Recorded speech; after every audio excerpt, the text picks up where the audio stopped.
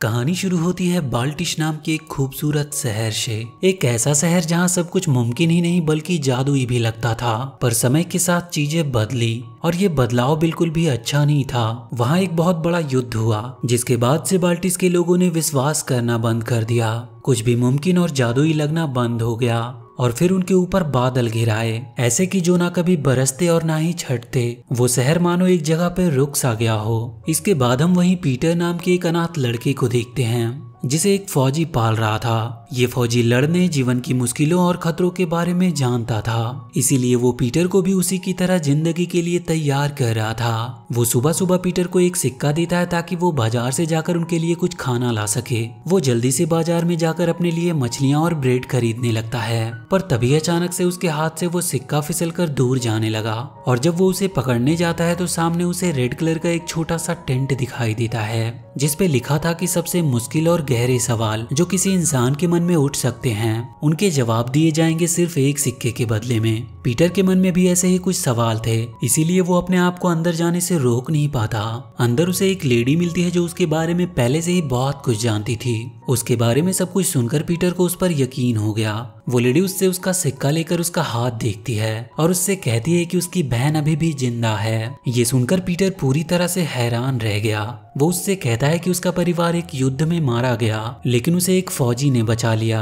उस फौजी ने उसे बताया कि उसकी माँ और बहन मारी गई, लेकिन उसे आज भी अपनी बहन की वो मुस्कान याद है और उसे लगता है कि वो कहीं ना कहीं ज़िंदा है। वो लेडी उससे कहती है कि तुम बस एक सवाल पूछ सकते हो, इसीलिए सोच समझकर पूछना ताकि उस जवाब से तुम्हारी कुछ मदद हो सके। कुछ सोचने के बाद पीटर उससे पूछता है कि वो अपनी बहन को कैसे ढूंढ सकता है, जिसके जवाब में वो लेडी उससे कहती है कि तुम्हें एक एलिफेंट का पीछा करना होगा। पर पीटर उसके जवाब से जरा भी खुश नहीं था, क्योंकि उस पूरे शहर में कहीं भी कोई एलिफेंट नहीं था। लेकिन वो लेडी बिना उसकी कोई बात सुने वहाँ से चली जाती है। घर आने पर पीटर को फौजी से बहुत डांट पड़ती है। वो उसे समझाता है कि उसकी माँ और बहन युद्ध में मारे गए थे, और उसने अपनी आँखों से उन्हें मरते हुए देखा था। और इसीलिए अब वो इन फालतू सवालों के जवाब ढूंढना बंद कर दे। वो फौजी उसे एक कहानी की बुक दिखाता है। और उससे कहता है कि उनके ग्रुप में एक डिस्मिट नाम का फौजी हुआ करता था। वो जब भी इस बुक को पढ़ता था तो उसकी आँखों में आँसू आने लगते थे और वो कमज़ोर होता जा रहा था। लेकिन एक दिन उसने चुपके से उसकी वो बुक चुरा ली, जिसके बाद से वो उनके ग्रुप का सबसे खुखार फौजी बना। वो पीटर से कहता है कि जहाँ पे आराम होगा, वहाँ पे कमज़ोरी होगी और जहाँ कमज़ोरी होगी, वहाँ कभी एक फौजी नहीं मिल सकता। इसीलिए वो पीटर से कहता है कि जो आज तुमने सुना एलिफेंट के बारे में, वो सिर्फ़ एक कहानी है, जिनका वास्तविकता से कोई लेना देना नहीं।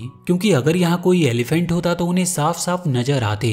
इसके बाद वो पीटर को वही कमरे में फौजी की तरह मार्च करने को कहता है, जिसकी वजह से उनके नीचे के कमरे में रह रहे मिस्टर एंड मिसेस मैटियन को दिक्कत हो रही थी। तो मिस्टर मैटियन बाहर जाकर पीटर से डिनर के टाइम पे कम से कम मार्च बंद करने को कहता है। वहीं पीटर उसे बताता है कि आज उसे खाना ना लाने के लिए सजा मिली है और वो उसे उस एलिफेंट वाली बात भी बताता है कि उसका पीछा करने से उसकी बहन मिल सकती है, जिसे सुनकर मैटियन उसे भरोसा दिलाता है कि क्या पता तुम्हारी बातें सच साबित हो और तुम्हें सच में एक एलिफेंट मिल जाए। वहीं उसी शहर में कहीं पे एक मैजिकल शो हो रहा था, लेकिन वहाँ के जादूगर के परफॉर्मेंस से कोई भी संतुष्ट नहीं दिख रहा था, जिसे देखकर वो जादूगर थोड़ा निराश था और वो कुछ सोचकर अपना आखिरी जादू दिखाने का बोलकर एक लेडी को अपने पास बुलाता है। वो जादूगर एक शक्तिशाली मंत्र पढ़ने का डिसाइड करता है। कुछ ऐसा जो बाल्टिस को फिर से पहले जैसा बना दे, पर उसका जादू कोई काम नहीं करता, और कुछ ही देर में उस लेडी के ऊपर एक एलिफेंट आ गिरता है, जिससे वहाँ हर तरफ़ भगदड़ मच जाती है। वहीं पीटर जब रात में सो रहा था, तब उसे अपनी बहन के सपने आ रहे थे, जिसकी वजह से वो जाग जाता है, और वो उठते ही भागकर वापस से उसी रेड कलर के टेंट के पास जाता है। पर वहाँ से अब वो टेंट गायब था। वो वहाँ के लोगों से पूछने की कोशिश करता है, पर किसी को भी इसके बारे में कुछ भी पता नहीं था। पर वहीं वो लोगों से कल मैजिक शो में गिरे एलिफेंट के बारे में बात करते हुए सुनता है, जिसे वहाँ के सैनिकों ने अभी बंदी बनाकर रखा है। ये सुनकर अब पीटर को यकीन हो जाता है कि उसकी बहन सच में ज़िंदा है, और उस लेडी ने जो कुछ भी कहा था बिल्कुल सच ही कहा था। वो खुशी के मारे चिल्लाते हुए जा रहा था कि एलिफेंट आ चुकी है। वो जाकर मिस्टर मैटियन से मिलता है। वो भी इस बात से काफ़ी खुश थे। वो पीटर को उस एलिफेंट को उसके कैद से छुड़ाने में उसकी मदद करने को भी बोलता है। इसके बाद वो जाकर फौजी को भी ये बात बताता है कि शहर में एलिफेंट आ चुकी है, लेकिन वो अब भी उसकी सारी बातों को बकवास ही कह रहा था। लेकिन अब पीटर अपना इरादा बना चुका था कि चाहे कुछ भी हो जाए, वो अपनी बहन को ढूंढ कर ही रहेगा। इधर जेल में बंद वो जादूगर भी अपने आप पे हैरान था कि उसके जादू से एलिफेंट कैसे आ गया। उसके पास वो लेडी भी आती है जिसके ऊपर वो एलिफेंट गिरा था, और वो जादूगर को इसके लिए कोस रही थी कि उसने जानबूझकर उसके ऊपर एक एलिफेंट गिरवाया।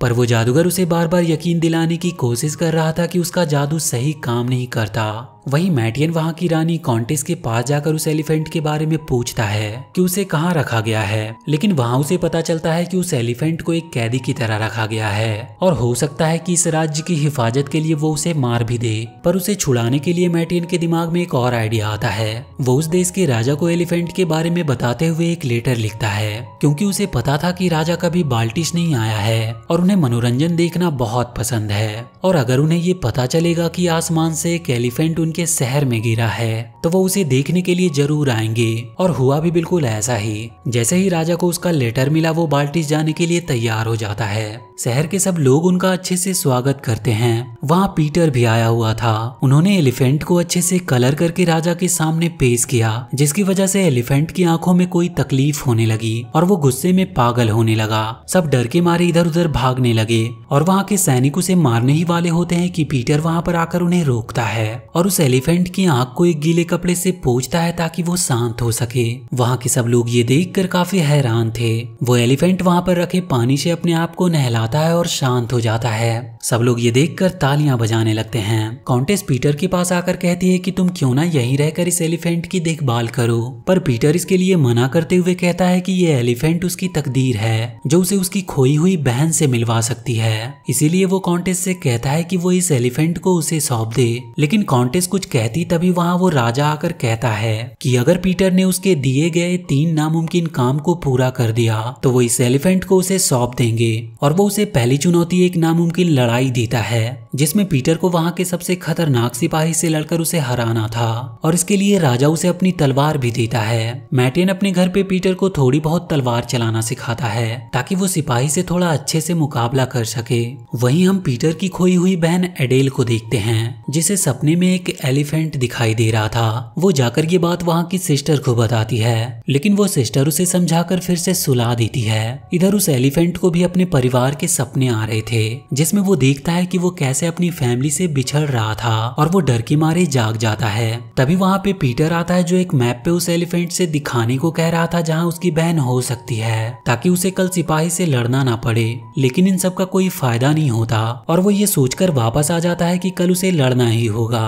अगले दिन शहर के सब लोग पीटर की लड़ाई देखने आए थे और उसका सामना वहाँ के सबसे खुखार सिपाही डिसमिट से होने वाला था। लेकिन जब पीटर डिसमिट का नाम सुनता है तो वो भागने लगता है, क्योंकि उसे फौजी की वो बात याद आ गई थी, जिसमें उसने बताया था कि कैसे उसने डिसमिट की बुक चुरा ली थी, जिसके बाद से ही वो एक खुखार सिपाही बन गया था। वो उससे बचता हुआ अपने घर की तरफ़ भाग रहा था, ताकि उस बुक को लेकर वो डिसमिट को रोक सके। खैर, किसी तरह वो उससे बचता हुआ अपने घर से उस बुक को लाकर उसके सामने कर देता है, जिसे देखकर डिसमिट अचानक से वहीं पर रुक जाता है। उस बुक को देखकर उसे अपनी माँ की याद आने लगती है, और वो फिर से शांत हो जाता है, और उसी दिन से वो अपने आप को बदलने का फैसला भी करता है, और वहीं पे वो पीटर के आगे अपने आप को सरेंडर कर देता है, जिसे देखकर वहाँ पर आए सब लोग काफ़ी खुश थे।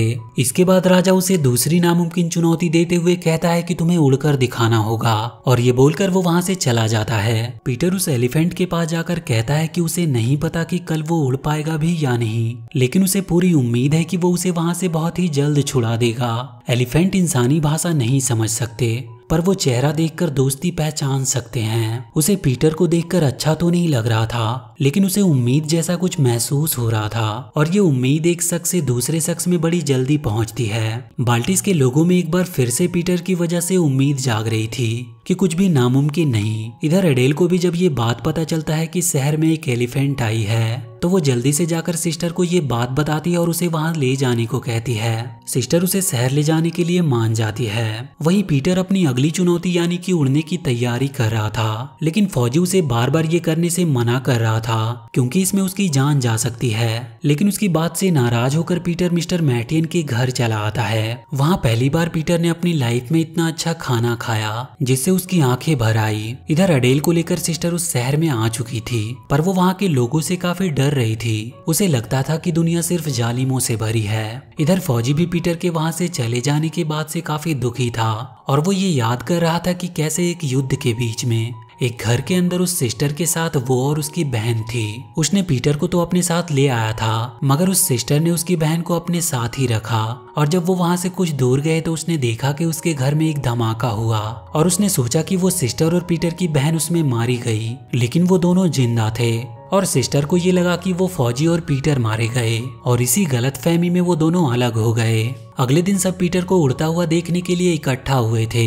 वहीं राजा को जब ये पता चलता है कि जब से कॉन्टेस का भाई युद्ध में मारा गया, तब से वो कभी भी हँसी नहीं। इधर पीटर वहाँ के एक बिल्डिंग के ऊपर चढ़कर वहाँ से कूद जाता है और देखते ही देखते उसके बैग से एक पैरासूट बाहर निकलता है जिसकी मदद से वो हवा में उड़ रहा था। सारे लोग ये देखकर अचंभित थे। वहाँ पे अडेल भी ये देखकर काफ़ी खुश हो रही थी। सारे लोग पीटर को अपने कंधों पर उठा लेते हैं। और क्योंकि अब वो दूसरी चुनौती पार कर चुका था, इसीलिए राजा उसे तीसरी चुनौती देता है। इस बार पीटर को किसी भी तरह कॉन्टेस्ट को हंसाना था। लेकिन ये काम सच में बहुत ही मुश्किल था। अडेल वहाँ उस एलिफेंट से मिलकर पूछती है कि वो उसके सपने में क्यों आता था। और वहीं वो पहली बार पीटर से मिलती है, पर उसे जरा भी अंदाज़ा नहीं था कि यही उसका खोया हुआ भाई है। तभी वहाँ पे वो सिस्टर आकर अडेल को ले जाती है और बहुत जल्द अगला दिन आ जाता है जब पीटर को कॉन्टेस को हंसाना था। वो सबके सामने एक चुटकुला सुनाता है, जिसे सुनकर खुद उस राजा तक को हँसी नहीं आती। पर काउंटेस जानबूझकर हंसने का नाटक करती है ताकि पीटर जीत जाए, पर राजा इसे सही नहीं मानता और वो पीटर की हार को घोषित कर देता है। पर पीटर उससे रिक्वेस्ट करता है कि वो प्लीज़ एलिफेंट को छोड़ दे। क्योंकि उसकी भी फैमिली है जहाँ उसे वापस जाना है। पहले तो वो बस इसे इसीलिए जीतना चाहता था ताकि वो अपनी खोई हुई बहन को ढूंढ सके। लेकिन अब वो बस इतना चाहता है कि इस एलिफेंट को उसकी फैमिली के पास भेज दिया जाए। पर राजा इसके लिए तैयार नहीं हो रहा था और वो एलिफेंट को पकड़कर ले जाने को कहता है। लेकिन वो एलिफेंट गुस्से से राजा के ऊपर पानी फेंक देता है, जिसे देखकर काउंटेस ज़ोर ज़ोर से हंसने लगी और उसी के साथ वहाँ के लोग भी ठहाके लगाने लगे और राजा ने ये मान लिया कि आखिरकार वो काउंटेस को हंसाने में सफल रहा। वो उस एलिफेंट को पीटर के हवाले कर देता है।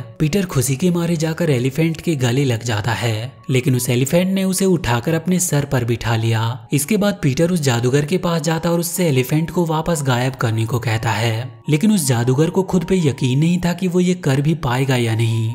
लेकिन वो बूढ़ी औरत उसे यकीन दिलाती है कि वो ऐसा कर सकता है, क्योंकि वो जैसा अपने जादू से पहले करना चाह रहा था बिल्कुल वैसा ही हुआ है। उस एलिफेंट के गिरने से ही बाल्टीस के लोगों में बदलाव आया है, और उनके अंदर उसी की वजह से उम्मीद की किरण एक बार फिर से जगी है, और फिर सारे शहर वाले के सामने उस जादूगर ने अपनी शक्तियों से उस एलिफेंट को गायब कर दिया।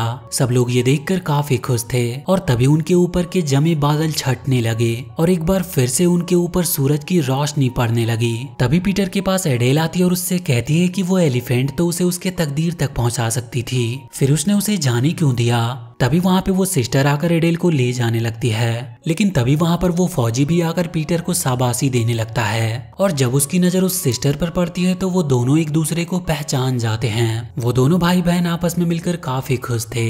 और इसके बाद बाल्टिस शहर एक बार फिर से पहले की तरह हो गया, जहाँ एक बार फिर से सब कुछ जादू लगने लगता है। पीटर अब अपनी पूरी फैमिली के साथ मिस्टर एंड मिसेस मैटिन के साथ ही रहने लगा। वहीं हम एलिफेंट को भी देखते हैं, जो अपनी फैमिली के साथ काफ़ी खुश है। लेकिन वो पीटर को कभी भी भूल नहीं सकता और इसी के साथ ये मूवी यहीं पर खत्म हो जाती है। तो वीडियो अगर अच्छी लगी हो तो please do like and share this video and please subscribe to my channel and press that bell icon